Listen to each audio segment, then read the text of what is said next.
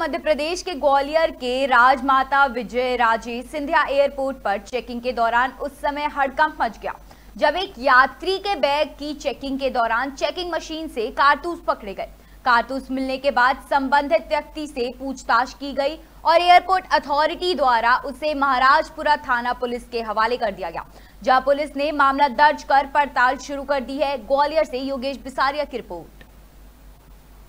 ये कल मॉर्निंग का घटना है। ग्वालियर एयरपोर्ट से एक कपल ट्रैवल कर रहा था। उसके हस्बैंड के बैग में से एक 315 राइफल का कारतूस मिला है। आ, फिर वो सी वालों ने पुलिस थाना महाराजपुरा को हैंड ओवर कर दिया था। उसमें हम सेक का एफआईआर हुआ है। जी।